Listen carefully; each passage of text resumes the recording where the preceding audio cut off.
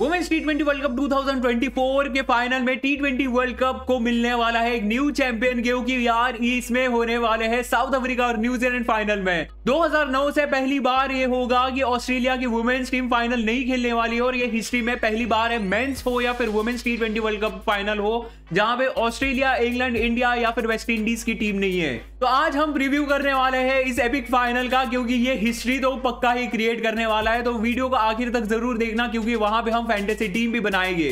देखो, ये मैच खेला जाने वाला है साउथ अफ्रीका और न्यूजीलैंड के बीच में, और ये मैच होगा दुबई इंटरनेशनल क्रिकेट स्टेडियम में, और यहाँ की पिच जो है, इसके बारे में भी हम बात करेंगे। लेकिन सबसे पहले बात करते हैं भाई किस तरह से इन दोनों टीम्स ने फाइनल का ये सफ़र पूरा किया है। तो साउथ अफ्रीका की टीम के बारे में सबसे पहले बात करते हैं यार। साउथ अफ्रीका की टीम ऑस्ट्रेलिया को हरा कर आई है, और क्या कन्विंसिंगली जीत के आए हैं। बॉलिंग में बहुत ही अच्छे से उनको रेस्ट्रिक्ट किया एक छोटे टोटल के ऊपर, और फिर उसको चेस करने में बहुत बड़ा हाथ निभाया लोरा उलवार्ड और एनी के बॉस वो जो एनी के वॉच की पारी थी, जिस तरह से उसने सभी स्पिनर्स को खेला, वो तो भाई कमाल की थी, वो 74 रन की पारी और कहीं ना कहीं ये साउथ अफ्रीका का जो टॉप ऑर्डर है, ये बहुत ही ज़्यादा की रहने वाला है फाइनल में भी। वहीं पे न्यूजीलैंड की अगर बात करें तो लगातार 10 मैचेस टी ट्वेंटी के हार के आ रहे थे इस टी ट्वेंटी वर्ल्ड कप में। और जिस तरह से सोफी डिवाइन ने ये टर्न अराउंड किया है न्यूजीलैंड के लिए, बहुत ही काबिल तारीफ़ है। वेस्ट इंडीज की टीम को सेमीफाइनल में हरा के आए थे और वहाँ पे उतना बड़ा स्कोर नहीं लगाया था, लेकिन जिस तरह से बॉलर्स ने परफॉर्म किया, फिर वो ईडन कार्सन हो एमिलिया केर हो लिया ताहू या फिर फ्रैंक जोनस इन लोगों ने इस छोटे टोटल को जिस तरह से डिपेंड किया, अपने नर्व्स के ऊपर काम रखा, ये बहुत ही काबिल तारीफ़ था। और अगर फाइनल की अगर बात करें तो साउथ अफ्रीका की टीम सेकेंड फाइनल खेलने वाली है। ये उनका कंजिक्यूटिव सेकेंड फाइनल है। न्यूजीलैंड की टीम की अगर बात करें तो ये इनका थर्ड फाइनल होने वाला है। पहले 2009-2010 जो पहले दो एडिशन हुए थे, वहाँ पे लगातार दो फाइनल्स खेले थे और अब ये थर्ड फाइनल खेलने वाले हैं। 14 ईयर्स के बाद। हेड टू हेड रिकॉर्ड की अगर बात करें तो 16 मैचेस हुए हैं दोनों टीम्स के बीच में, जहाँ पे न्यूजीलैंड की टीम 11 मैचेस जीती है, चार मैचेस जीते हैं। साउथ अफ्रीका की टीम ने और एक मैच नो रिज़ल्ट रहा था। लेकिन अगर बात करें last four T international matches के बारे में तो दो मैचेस जीते हैं साउथ अफ्रीका की टीम ने, एक मैच जीता है न्यूजीलैंड की टीम ने और एक रहा है no result T twenty world cup की अगर बात करें तो वहाँ पे छह मैचेस हुए हैं। इन दोनों टीम्स के बीच में चार जीते हैं न्यूजीलैंड ने, दो जीते हैं साउथ अफ्रीका ने। तो कितना अप एंड डाउन दिखेगा हेड टू हेड रिकॉर्ड में भी।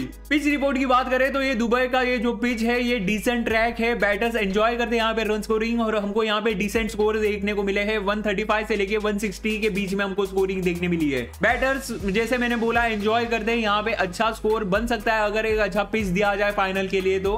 बॉलर्स के लिए भी यहाँ पे है। पेस बॉलर्स हो स्पिनर्स हो, क्योंकि यहाँ पे जो पेसर्स है 44 विकेट्स निकाले हैं। स्पिनर्स ने 44 विकेट्स निकाले हैं। तो आप देख ही रहे हो कि कितना इक्वल है इन दोनों के बीच में और अगर इक्वल है तो मान ही लो कि पेसर्स यहाँ पे विकेट निकाल सकते हैं और जो साउथ अफ्रीका के पेसर्स है, यहाँ पे अपर हैंड रह सकता है इनके लिए।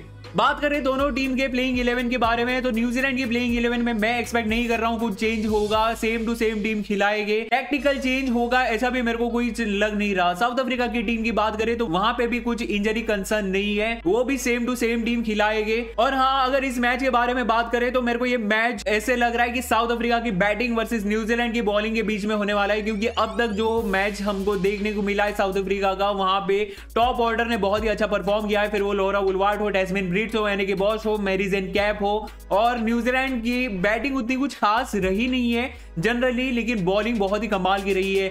बॉलर्स में Amelia Kerr Fran Jonas Eden Carson Rosemary Mair लिया हूँ इन लोगों ने बहुत ही कमाल की बॉलिंग की है। तो आप एक्सपेक्ट कर सकते हो अच्छा बैटल हमको देखने को मिलेगा, और अगर थ्रिलर मैच हुआ है फाइनल तो और भी मज़ा होने वाला है players to watch out for की अगर बात करें, ऐसे प्लेयर जो आपको अच्छा पॉइंट कमा कर दे सकते हैं, अपना अच्छा परफॉर्म करके, क्योंकि यार ये फाइनल मैच है तो एक्सपेक्ट करोगे कि यहाँ पे ये प्लेयर्स अच्छा परफॉर्म करेंगे। तो न्यूजीलैंड के प्लेयर्स के बारे में अगर बात करें तो देखो न्यूजीलैंड से सबसे पहला नाम है सोफी डिवाइन का कैप्टन है, और साउथ अफ्रीका के सामने इसने अब तक फोर्टीन मैचेस खेले, जहाँ पे उसने सिक्स रन बनाए हैं। एवरेज है उसका सिक्सटी का एक सेंचुरी लगाई और सेवन से बहुत ज़्यादा पसंद करती है साउथ अफ्रीका के सामने। परफॉर्म करना।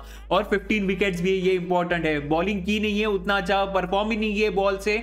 लेकिन हाँ क्या पता एक दो ओवर डाल भी जाए। नंबर दो के ऊपर है, और लेजेंड जो है सुजी बेट जिसने 585 रन बनाए हैं एवरेज है उसका 48.75 का 350 और एक सेंचुरी है इसके भी नाम। थ्री विकेट निकाले बॉलिंग करके सेमीफाइनल में इसने आखिरी ओवर डाला था, जहाँ पे इसने विकेट निकाली थी। नंबर तीन के ऊपर है एमिलिया केयर 168 रन है इसके दो फिफ्टीज लगाई है बॉलिंग में नाइन विकेट है इसके नाम, ग्यारह मैचेस में। और अब तक लीडिंग विकेट टेकर रही है इस टी वर्ल्ड कप में तो यहाँ पे ये बहुत ही ज़्यादा इंपॉर्टेंट रहने वाली है बॉलिंग में भी। आगे न्यूजीलैंड के स्पिनर जो है ईडन कार्सन जिसने दो विकेट ही निकाल पाई है सिर्फ़ तीन मैचेस में, लेकिन ये जो पिचेस है, यहाँ पे स्पिन को भी बहुत मदद होती है और ये बहुत ही ज़्यादा इंपॉर्टेंट होने वाली है न्यूजीलैंड के लिए। आगे है रोज मेरी मेयर तीन विकेट निकाले है इसने तीन मैचेस में और अब तक ये वर्ल्ड कप बहुत ही अच्छा गया है रोज मेरी मेयर का। पिछला मैच छोड़े तो हर मैच में ऑलमोस्ट एक विकेट निकाला ही निकाला है। अब बात करते हैं साउथ अफ्रीका के प्लेयर्स के बारे में तो सबसे पहले बात करते हैं लोरा उलवाड के बारे में। बहुत ही कमाल की प्लेयर है, ये क्लास प्लेयर है। अब तक सबसे ज़्यादा रन बना चुकी है साउथ अफ्रीका के लिए इस टी ट्वेंटी वर्ल्ड कप में।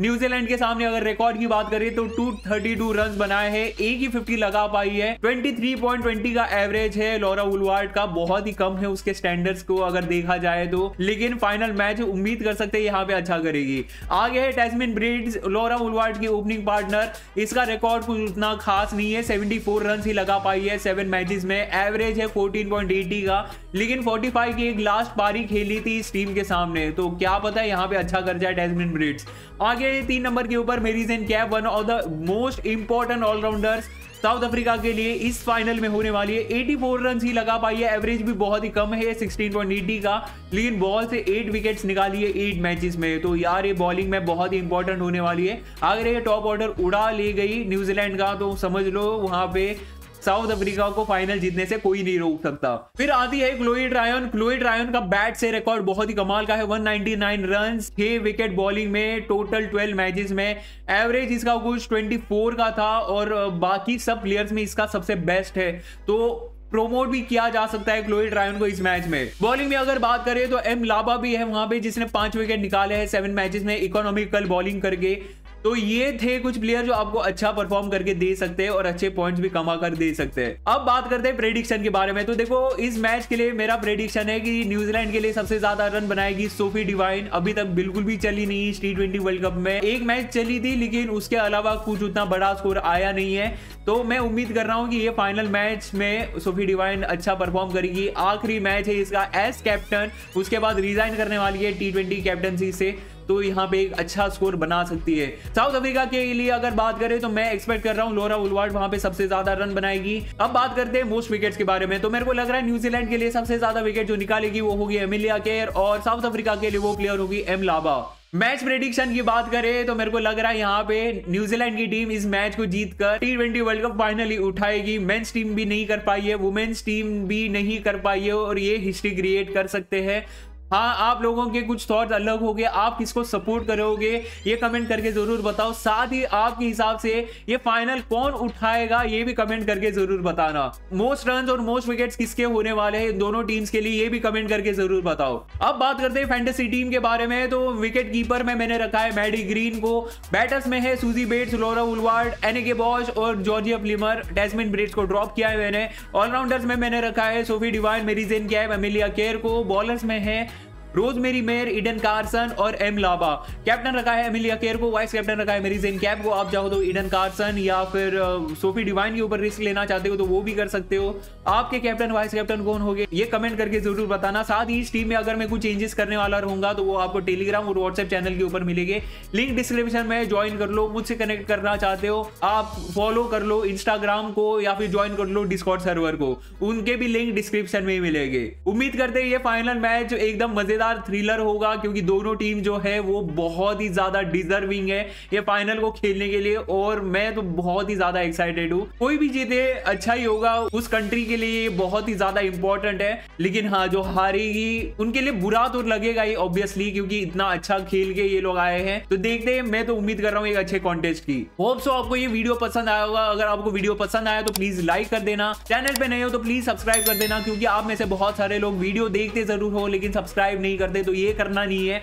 सब्सक्राइब कर देना है। उसके ऊपर आप एम एल की गूगली डालो या फिर लोरा उलवाड का कर ड्राइव मेरे को नहीं मालूम, हो जाना है चाहिए। 900 सब्सक्राइबर के बहुत ज़्यादा नज़दीक है।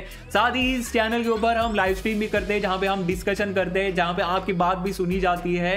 तो आप वो सब मिस आउट नहीं करना चाहते तो चैनल को सब्सक्राइब करके नोटिफिकेशन बेल को ऑल पे सेट कर दो। मिलता हूँ आपको अगली वीडियो है लाइव स्ट्रीम में। तब तक ख्याल रखो अपना भी और अपनों का भी। तब तक के लिए बाय बाय